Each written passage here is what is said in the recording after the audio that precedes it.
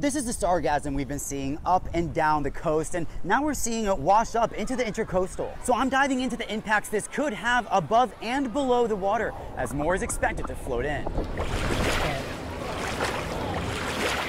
Checking out the marine life. Snorkeling out there was my first time. 10 year old Dylan Mendez There was a bunch of seaweed found himself dodging chunks of sargassum. pieces of it going into my face, running into my goggles. That made its way into the intracoastal at Phil Foster Park. And I kept fighting it off. I kept clearing the path. That way I wouldn't run into it. It's a small amount compared to what we've seen out by the coast, which I found out is part of a record sized sargassum cluster floating out in the ocean with portions making its way to Florida. offshore, it, it's a good thing, right? It supports this community of over 100 species of invertebrates and fishes.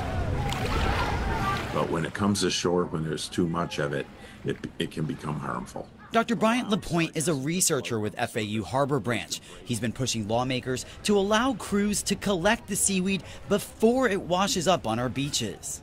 It's not just the beaches. You hear a lot about the impacts on tourism and the beaches, but the reality is it's also doing a lot of, of harm to the, co- the coastal ecosystems. He told me crews would have to remove 500 tons of sargassum a day to make a dent in the 37.5 million ton floating mass. I'm using the sea- seaweed so it can have hair. It's a nuisance, Alex Nicholson. and also, it could be decorations It's turning into a positive to fill out all the broken spots. to help build his sandcastle Like this. and avoid the chunks floating in the water. Every single time I see the animal, there's a seaweed sneaking up behind me, trying to attack me.